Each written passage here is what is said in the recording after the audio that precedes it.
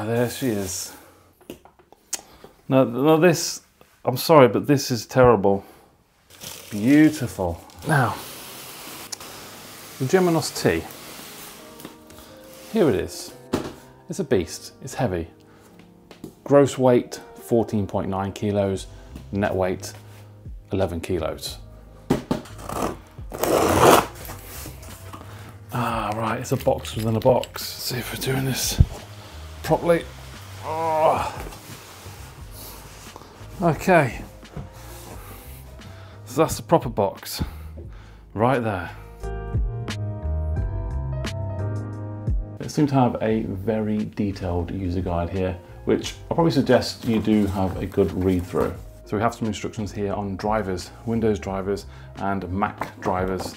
And on the back, how to connect to Geminos. Again, important instructions, have a good read through them. Two accessory boxes here. Let's open this one first, see what we get. So first off, we have a nice silky cloth. Look at that. We have a USB-C to USB-C cable. Here we have the power adapter. You can see there USB-C 1, USB-C 2. That's the connector straight out the box. Mobile Pixels logo on there. Great news, they cater for many different countries. Obviously I'm in the UK, so I'm gonna be using this one. Lots more cables by the looks of it. Uh, what do we have here first? A webcam cover, privacy protection, USB-C to USB-C cable, USB-C, USB-C cable. Now this one, USB-C to USB-A, but you have an adapter to convert that to USB-C, which is nice.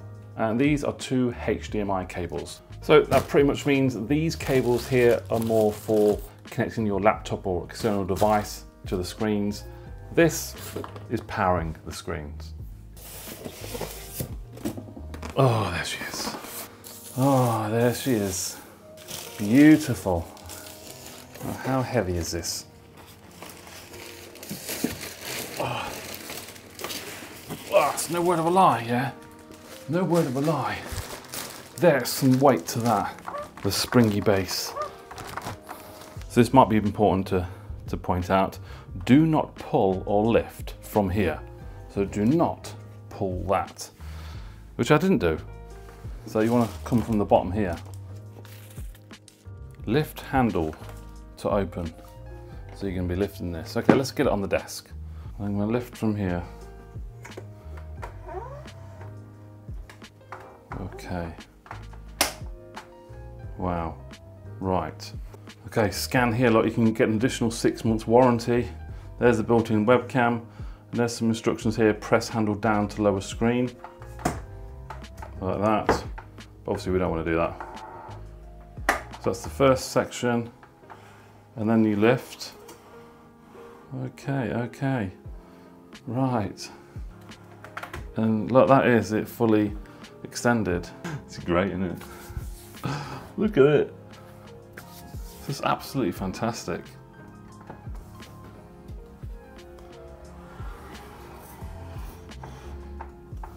Look, you can have it sit like that.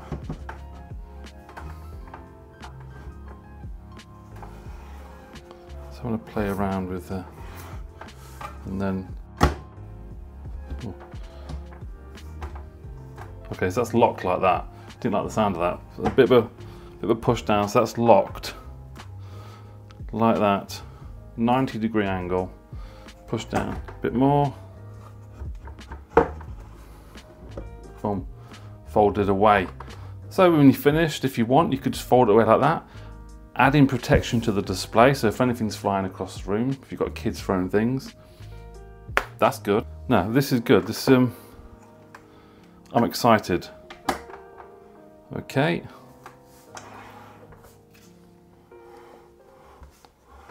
Okay. Boom. Perfect. So there's no twisting.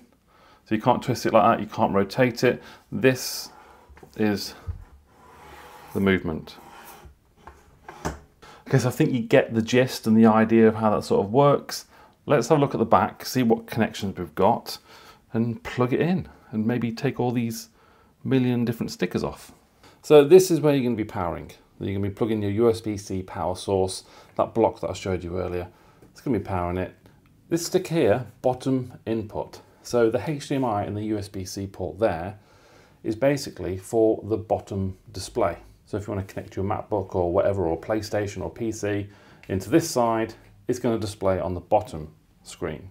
And then the same here, top input. So anything you plug into the HDMI or USB-C here will be displayed on the top display. So you can have a couple of different devices connect at the same time on the two different displays. On the left here, we have a 3.5 mm socket for headphones. Now, obviously you can have a device displayed on both screens. Obviously you just need to use maybe an input there for USB-C and an input there for HDMI. Or if you've got two USB-C outputs, you can input two USB-C, which I will probably do from the MacBook that I have. We'll see though. And situated here, which will be behind the monitors when they're up, are the speakers. One speaker there and a speaker there. Now at the bottom here, which is very, very handy, a micro SD card and a normal SD card slot there. Perfect. And on the other side, we have a couple of USB-A ports as well. So plenty of connections there.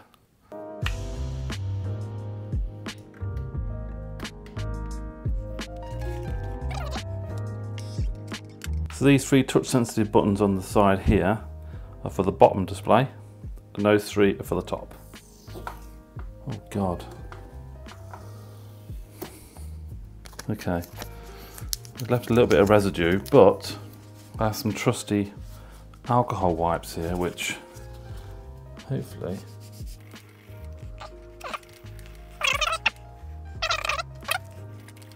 Oh well that's a bit disappointing if that's left a little bit of residue on there. I don't know, yeah, it's really, yeah, there's a bit of, there's quite a bit of glue on there which I thought might have rubbed off with this alcohol wipe. So I'll have to revisit this but later. I'm not going to take them other stickers off. Now, now this, I'm sorry, but this is terrible. Really stuck on there. I think there's a little, yeah, there's a bit of glue there.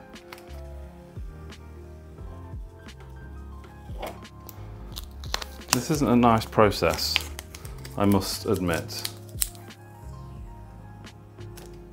That one was better. So we have power. And obviously at the minute, there is nothing plugged in, no signal. I'm going to use the USB-C cables that come with it. Now, thankfully, on the MacBook I have two USB-Cs on this side, um, a spare one on the other side.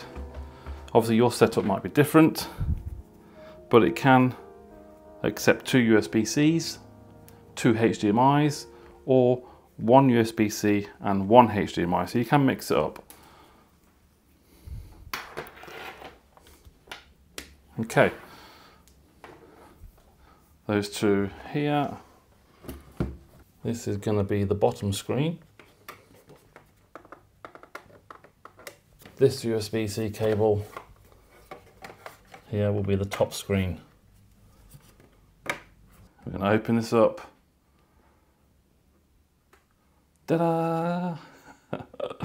Look at that. And obviously I can use the Mac as my third screen. I might pop it over there on the left once I've properly got everything set up.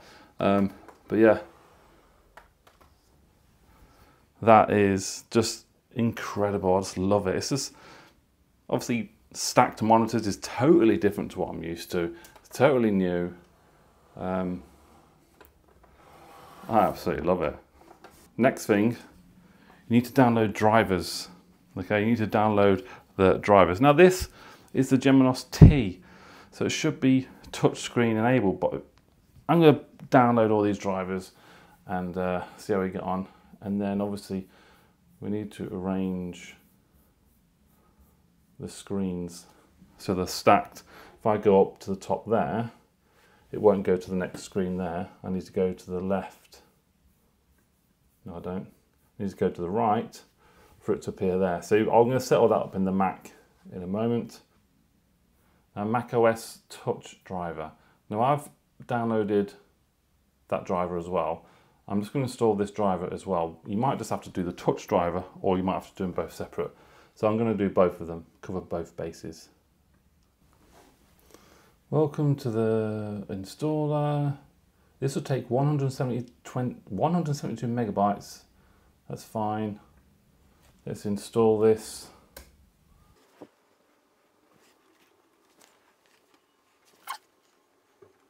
Right, okay, so in order to perform the modules, the UPDD commander requires permission to control your computer using Mac's Mac OS's accessibility feature. So it looks like you need to turn these on. Obviously that's totally up to you if you want to do it, but I'm absolutely fine with turning both of these on. The installation has completed. Close that, move to bin. Okay, so accessibility, those need to be turned on. Okay, so I'm having a, a, little bit of a battle in terms of getting the, the UPDD system extension working. I think Apple's quite, you know, secured and locked down. But you have to come in privacy and security and click allow. Put your password in. Okay.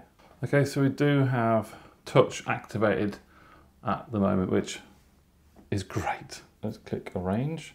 So obviously we have the built-in display, that's the Mac at the moment. We have this one, that's flashing red there. So we want to put the, well that one there at the top. So that's at the top, that's at the bottom. And let's put the Mac at the bottom as well. So that is now our setup. Uh, let's go upwards done. So now if I, there we go, I can drag straight up to the top. Nice one. So this video was purely for the unboxing and the setup of these screens. Now the overall setup in terms of unboxing and getting it connected to the laptop was fairly straightforward. Maybe a little bit more involved with trying to obviously to install the software and getting the touch panel, like the touch screen to start working, uh, the bottom one. I mean, obviously, if you're comfortable, you do need to allow certain permissions and stuff for the touchscreen to actually work. Uh, this is the MacBook anyway. I don't know what it's like in in Windows, but that's the experience I had with this MacBook Pro. After you've done all that, it's absolutely fine. And this is how I've got it set up at the moment. So I've now moved the MacBook Pro to the left-hand side. Uh, I've also plugged in a wired mouse at the back using the spare USB A ports, which is great. You can use wireless as well, obviously, depending on what device you have. But I like to plug in with a cable at the back there. And arranged all the monitors and arranged the screens that way as well. So I dragged to the left for the MacBook Pro. And at the minute it's working absolutely fine. Now I will do another video on actually using the screens. I might give it a couple of weeks or so, something like that uh, just like a proper review, but this is just purely unboxing and setup. Now the stickers, which caused me a lot of pain, uh, as you saw in the video, I've managed to get rid of pretty much all of the sticky residue that gets left on, on there using them alcohol wipes. I just had to go back again and give them a good old buffing over. Thankfully, there doesn't seem to be any trace of that. So initially a pain in the ass, but once that's done, you're fine. So I hope this video for now has been helpful in you know, getting yours set up and um, installed.